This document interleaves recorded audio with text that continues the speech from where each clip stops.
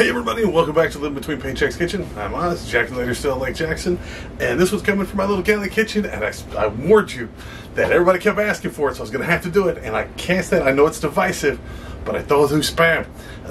and I've, I think I found a way to do it. I'm going to try it. Oh, I get goosebumps just talking about it. Oh, Lord. We're going to do some spam or luncheon meat or whatever you want to call it, chopped ham. I got three different kinds here. We're going to try it out. Before we get into it, be sure to like, share, subscribe, do the YouTube stuff, get the uh, bell over in this corner here, get notifications. We do these as close as possible to Tuesdays and Fridays. Also, there's a link down the doobly for our merch. We've got spoons, spatulas, flippers, my apron that I'm not wearing. I'll have to find in a second.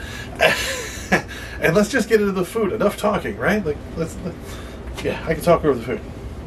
Well, can you call it food? It's spam. All right, like any of these things that work, like the traditional spam, that's fine. I'm part of that 90s generation that quote unquote rediscovered Monty Python, and we're the reason they're spam folders. It does have an expiration date, but it's many years away. There's also luncheon loaf, chopped ham. This is the HEB, but it's low sodium, so it's kind of my favorite go to.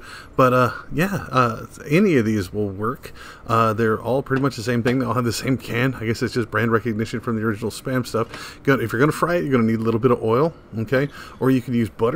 Uh, if you want to make your spam fancy with butter or olive oil, feel free.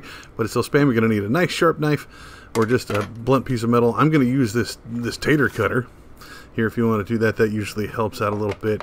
And uh, also you can use an air fryer. I'm going to show you both ways to do this with air fryer and with the oil in a skillet. So that's it. You can season with whatever you want or nothing at all. Uh, so first things first you need to open this. Uh, it's got a pull tab on it. I remember the old keys that go around the outside of it. So that's a little weird. Yeah like it just kind of hooked on a little piece of metal and pull it open. Uh, yeah, it's got the same smell, and it made Zool come running in here. Uh, it won't come out. Uh, one of the tricks to this is if you squeeze the side, sometimes it'll work, but if not, you get you a nice sharp knife. Again, shout out to Andy. I'm sorry I'm going to do this to the knife in front of you here, but go ahead and take it and just give it a little poke hole, boop, right in the top, and that'll break the seal on the bottom of that meat and it falls right out. So uh, keep the cans. It's got a little bit of mystery jelly. Just go hose that out with hot water, maybe a little bit of soap. It's up to you. I'm going to show you what to do with those later. Uh, wash your hands, but your hands are going to get greasy, dirty doing this anyway. So for the chips, get you a nice sharp knife on this flat edge and just cut it as thin as you dare. Uh, if you want thicker ones, that's fine. Just takes a little longer. The thinner they are, the more you get, uh, and the faster they cook. So that is completely up to you. Just go ahead and cut down this whole can of. Uh, this is the traditional spam with a nice sharp knife. Get you a nice plate of this. All right, set it down. Be sure to wipe off your knife and your cutting board because you just had raw chopped meats on it mechanically separated. Some people say that means it's been run over by a Buick. So uh, once you get that done, now you do the fries. I want to show you how to do this. Go ahead and pop this up. This is the HEB low sodium stuff. I really are a bigger fan of this, mostly just because my doc yells at me over sodium. So again, squeeze the sides a little bit. Sometimes it'll come out. Sometimes it won't. Just get you, you know, like an ice pick is what I think my grandfather used when I was a kid. Well, whatever. So just knife, just a little jab, and Pro viola. It's uh, it's meat, but you can still see that a lot of mystery gel in that one. I still haven't figured out what the hell that is. I'm guessing some kind of fatty stuff. But again, just wash it out, and we're going to come back to that later. So this isn't going to be too big to put through our potato press here, our French fry press. So we're just going to go ahead and take it and slice it in half, which is better because you don't have the stuff that hangs up in the uh, the cutter very much because you can push it through with the second piece. So go ahead and cut that in half. Stand it up right there. These usually are nice and sharp, so you don't have to hold it too much and then the lid just comes down, pushes out the bottom. But because it's all stuck together at the top, it doesn't all come out as fries. Uh, there's a lot of trial and error on this. Uh, shaking them, they come out, they're pretty good. You got to be kind of gentle with the fry side because it's just meat that's been pressed together. So it'll come loose. See how it's kind of hung up in there, whatever? And see, that's it because the top gets all smushed on the top and doesn't get pushed all the way through because the, the cutter isn't near as tight. So you put the second part, it'll help push some of the last of that through and little bitty smaller fries, like little broken off fries. You always get it like the fast food places. That's what it's to make here. Like, get it, bang on it. See, that's the remnants of the last one, and then the new one is still hanging from the top. Best way I'm to do it is get a spoon, reach in there, scrape it all down. So now you got both of these. You can put both of these in the air fryer, so we're going to do that one first, okay? So you got it nice and done. So we're going to get our air fryer. We're going to set it at 350, okay? Uh, I don't ever preheat. I've heard some recipes that say, "Hey, preheat it, whatever." Uh, just go ahead and put a single layer down here. Don't double them up. Now, be careful if you do these really, really thin, because it's a fan that blows the heat down onto these. Right? It'll be so strong it'll start blowing the, the chips around and they'll stack up and cook. So you got to keep an eye on that. Uh, so I'm going to put them in there for five minutes. We can check them, see the color starting to change, and it's still hot. Because I'm an idiot. I'm going to grab it with my hand twice. now remember, uh, you want it a little darker here. I'm not much on the chewy stuff, especially if I'm going to make chips out of it. So this is at eight minutes. You can kind of see where it's starting to get darker, and I still grab it by my hand because I'm still stupid. Uh, apparently, three minutes isn't enough time to change my mind on what's hot or not. You can see the color changing here. You want to go a little darker, a little bit browner, and a little crisper. So get your secret weapon, which is a plate with a paper towel on it, and go ahead and just pull those out and set them right on there. Now, if you want to season these, now's the time to do it, where they're still warm and the grease is still on the outside, because that holds all that seasoning to it. So these fries are the same thing, but you can be a little heavier with them. Uh, mostly, I think, because these are cut a little thicker, they don't blow around as much, and because they don't take as much space, the uh, the heat can go in, the air can go through them a lot better. So you can kind of stack them up fairly well. But like, I could probably do this whole set, but I want to save some for the skillet. See how they kind of stacked up. Just kind of make sure it's not completely gobbed up because they will stick to each other as they cook. Again, 350. Now this time I went ahead and did 10 minutes. I'm going to go ahead and stop it at 8 and check it, and you can see how thick these are. I don't want them super hard because they are thinner and easier to cook, and I don't want them like crunchy and stuff. You can put them in there for the whole 10 and they do pretty good. I just turned it off. It just call it good. So again, if you want to season these, this is the time to do it. Go ahead and pull these out. Now I got these here. Now I my favorite go-to seasonings right now are the HEB uh, garlic uh, pepper, and then the and then the uh, HEB curry powder. Yeah, I, I don't know why. It's just something I'm really into later, but it turns out really really well. So go ahead and put these on here, and those are ready to serve. Don't add any other salt it's going to be too much. Now, if you want to fry them, if you don't have an air fryer, let's get into that.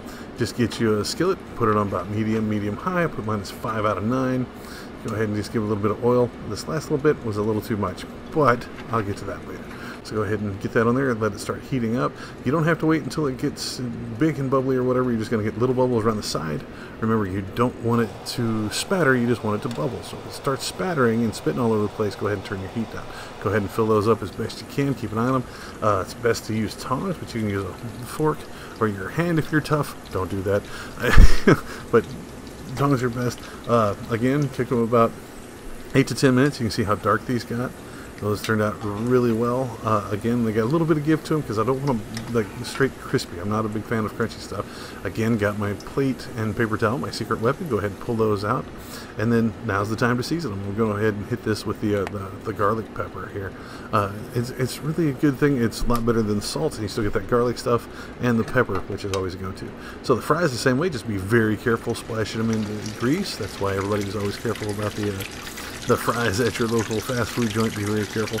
Now these are a little piled up. They will separate, and if you want to, just go ahead and separate them yourself. Again, eight to ten minutes.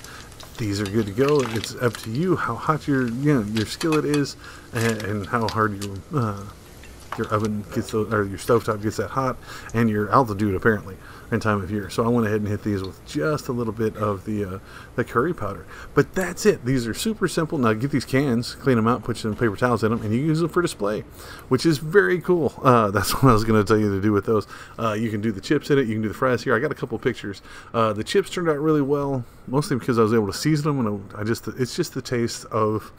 Um, the spam stuff. I'm just not a fan of it, but this worked out really, really well, and uh, so I just couldn't help but just dig this. It was just too easy. Uh, the fries and stuff worked out really well, and I ended up putting it on a salad as well. So that's the thing that happened.